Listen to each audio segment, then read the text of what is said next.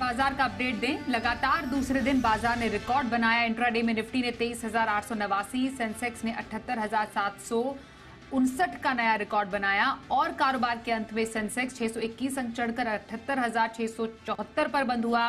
Nifty एक सौ सैंतालीस अंक चढ़कर तेईस हज़ार आठ सौ उनहत्तर के स्तर पर बंद हुआ। बैंक निफ्टी में रही दो अंकों की तेज़ी और यहाँ पर बावन के लेवल पर क्लोजिंग रही। रिलायंस एयरटेल अल्ट्राटेक जैसे दिग्गज शेयरों में सबसे ज़्यादा तेज़ी दर्ज की गई। बाज़ार में आज की शानदार तेज़ी की बड़ी वजह समझते हैं हमारे सहयोगी वरुण दुबे से। देखिए, मंथली एक्सपायरी के पहले अगर आप देखेंगे तो बाजारों में जोरदार तेज़ी देखने मिली और पूरे जोश में बाज़ार थे।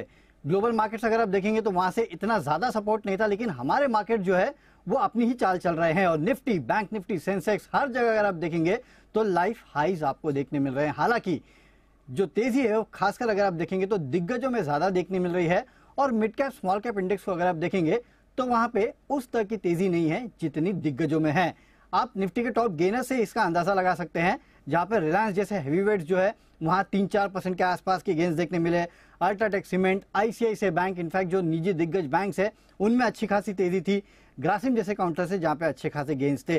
लूजिंग एंड पे Apollo hospital Bajaj auto M N M Tata steel जैसे काउंटर से काफ़ी हद तक ऑटो स्टॉक्स में अगर आप देखेंगे तो गिरावट देखने मिली। एक स्पेस जो सबसे ज़्यादा फोकस में थी, वो है टेलीकॉम स्टॉक्स क्योंकि स्पेक्ट्रम का ऑप्शन भी हुआ, उसके बाद भी अगर आप देखेंगे तो यहाँ पे टेलीकॉम स्टॉक्स में अच्छी खासी तेज़ी देखने मिली।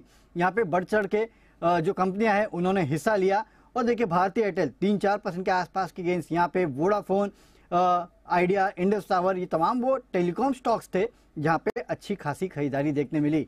इसके अलावा खबरों के चलते वेदांता सीई इंफोसिस्टम यहाँ पे जो ब्लॉक डील हुई, उसका इम्पैक्ट दोनों स्टॉक्स में देखने मिला। भारत डायनामिक्स इन्होंने अपने प्रेजेंटेशन में बताया कि किस तरह से आगे कंपनी की ऑर्डर बुक रहने वाली है, उसका इम्पैक्ट और डी डेवलपमेंट आज की लिस्टिंग अच्छे खासे प्रीमियम पे लिस्टिंग हुई और प्रीमियम पे लिस्टिंग होने के बाद स्टॉक उसी लेवल के आसपास या फिर उससे ज़्यादा बेहतर रिटर्न दिखा के टिका हुआ नज़र आया। ये सबसे अच्छी बात है। इसके अलावा मिड कैप स्मॉल कैप्स में गेनर्स की बात करें तो आज सीमेंट स्टॉक्स यहाँ पे काफ़ी अच्छी तेज़ी देखने मिली। इंडिया सीमेंट को देखिए चौदह पंद्रह परसेंट के आसपास के गेंस यहाँ पे थे। CSC Amber enterprises Titagarh rail में तेज़ी थी। लूजिंग एंड पे Fino payment bank Ratan India NMDC MCX जैसे काउंटर्स से जहाँ पे गिरावट देखने मिली। तो मिड कैप स्मॉल कैप्स में अगर आप देखेंगे तो ज़्यादा तेज़ी नहीं थी। काफ़ी सारे स्टॉक्स ऐसे थे जहाँ पे गिरावट थी, काफ़ी सारे स्टॉक्स ऐसे थे जहाँ पे तेज़ी थी।